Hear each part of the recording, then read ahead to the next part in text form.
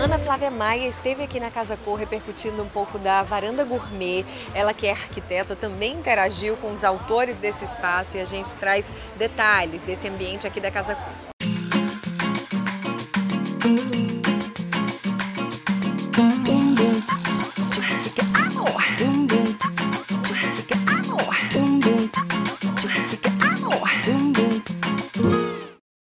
Who says I can't get stoned? Turn off the lights and the telephone.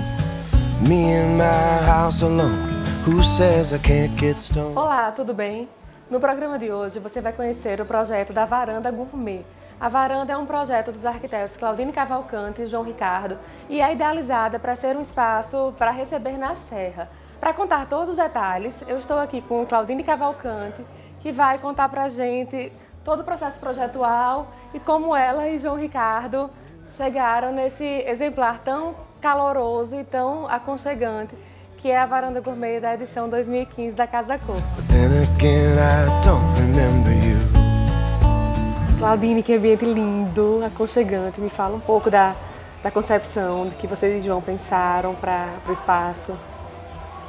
Bem, a gente usou o tema Brasilidades, tentou explorar da melhor forma.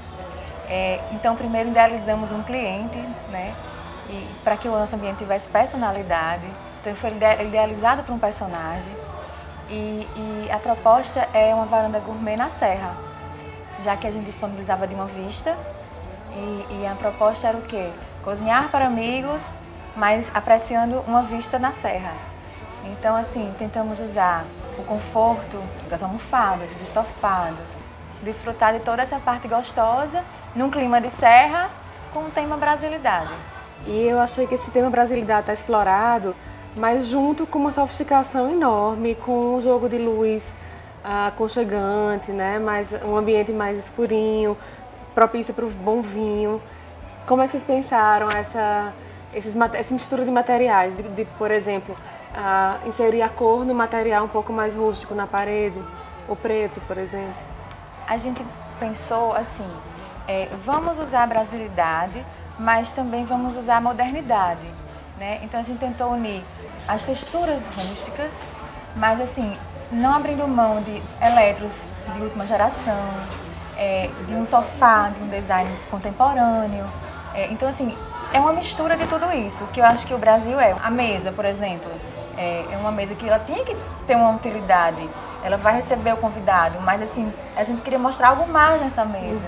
Então vamos Tá linda, explorar linda. a madeira e, e aí por que não bruta? Então assim, pensamos nesses detalhes assim para fazer a diferença. Como você acha que é importante esse mix de texturas nas decisões projetuais? Acho que quando a gente é, sabe é, colocar isso de uma forma dosada, eu acho que o resultado não tem como ser outro, a não ser um ambiente de sucesso. É assim que eu vejo, porque a gente tentou explorar essa textura, mas é, é, sem ser demais, sem também é, ser o centro do, do ambiente, porque o centro do ambiente ele tem que ser o quê? Ele como um todo. E não algo, algo Que por si chame só que chamasse atenção. mais atenção do que o restante do ambiente. Então a gente tinha que, que buscar é, atenção para cada detalhe.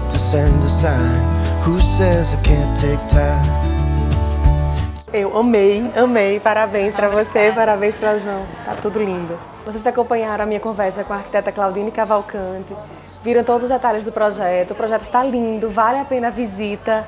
Muitos materiais ah, bem trabalhados. A mesa é perfeita.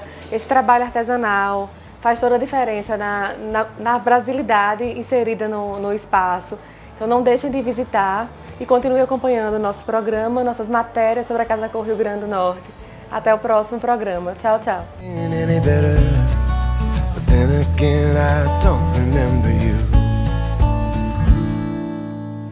Who says I can't get stoned? Call up a girl that I used